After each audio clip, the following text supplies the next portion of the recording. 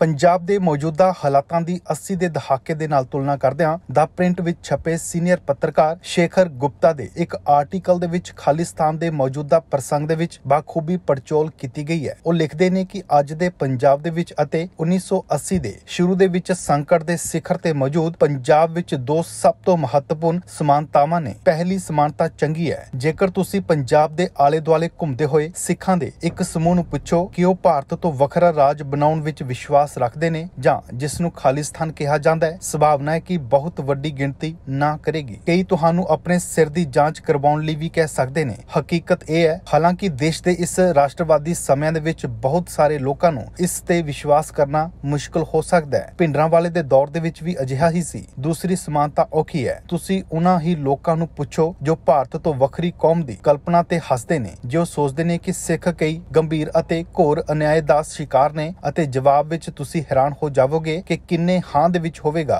ਇਹ ਬਿਲਕੁਲ ਠੀਕ ਹੈ ਕਿ ਉਹ ਇਸ ਅਤੀਤ ਦੇ ਵਿੱਚ ਕਿਵੇਂ ਸੀ। ਬੇਇਨਸਾਫੀ ਦੀ ਭਾਵਨਾ ਧਾਰਮਿਕ ਅਤੇ ਡੂੰਗੀ ਹੈ ਅਤੇ ਸੀ। ਜਿਹੜੀ ਲਾਈਨ ਤੁਸੀਂ ਉਦੋਂ ਸੁਣੀ ਸੀ, ਉਹੀ ਸੀ ਜੋ ਤੁਸੀਂ ਹੁਣ ਸੁਣਦੇ ਹੋ। ਕਿ ਸਿੱਖ ਧੱਕਾ ਜਾਂ ਘੋਰ ਅਨਿਆਏ ਦੇ ਸ਼ਿਕਾਰੀ ਨੇ, ਉਹ ਅੱਗੇ ਲਿਖਦੇ ਨੇ ਕਿ ਮੌਜੂਦਾ ਗੁੱਸੇ ਅਤੇ ਬੇਗਾਨਗੀ ਦੇ ਕਾਰਨ ਮੋٹے ਤੌਰ ਤੇ ਚਾਰ ਨੇ ਸੰਪਰਦਾਇਕ ਡੇਰੇ ਬੰਦੀ ਸਿੰਘਾਂ ਦੀ ਲਗਾਤਾਰ ਕੈਦ ਤੀਸਰਾ ਇਹ ਕਿ ਸਿੱਖ ਗੁਰਧਾਮਾਂ ਦੀ ਬੇਅਦਬੀ ਅਤੇ ਕਥਿਤ ਤੌਰ ਤੇ ਬੇਅਦਬੀ ਕਰਨ ਵਾਲੇ ਦੋਸ਼ੀਆਂ ਨੂੰ ਨਾ ਤਾਂ ਫੜਿਆ ਗਿਆ ਅਤੇ ਨਾ ਹੀ ਸਜ਼ਾਵਾਂ ਦਿੱਤੀਆਂ ਗਈਆਂ ਨੇ ਅਤੇ ਚੌਥਾ ਇੱਕ ਬਿਆਨਬਾਜ਼ੀ ਹੈ ਕਿ ਜੇ ਭਾਜਪਾ ਅਤੇ ਆਰਐਸਐਸ ਕਹਿੰਦੇ ਨੇ ਕਿ ਉਹ ਹਿੰਦੂ ਰਾਸ਼ਟਰ ਬਣਾ ਰਹੇ ਨੇ ਤਾਂ ਸਿੱਖ ਰਾਸ਼ਟਰ ਦੇ ਵਿੱਚ ਕੀ ਗਲਤ ਹੈ ਇਹ ਉਹ ਸਵਾਲ ਨੇ ਜੋ ਸਿੱਖ ਕੌਮ ਦੇ ਵਿੱਚ ਬੇਗਾਨਗੀ ਦੀ ਭਾਵਨਾ ਨੂੰ ਪ੍ਰਚੰਡ ਕਰ ਰਹੇ ਨੇ I have did my coaching from Globewise only for IELTS and I scored 6.5 band. My experience with Globewise was so well. I would really suggest each and everyone to come here and pursue their process through Globe Advice. It will be really helpful for you. ਸੰਪਰਕ ਕਰਨ ਦੇ ਲਈ ਹੁਣੇ ਕਾਲ ਕਰੋ Delhi branch ਦੇ ਲਈ 9696875875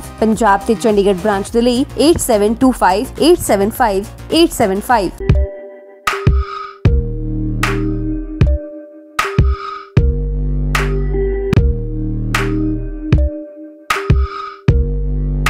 ਸਾਡੇ YouTube channel ਨੂੰ ਸਬਸਕ੍ਰਾਈਬ ਕਰੋ।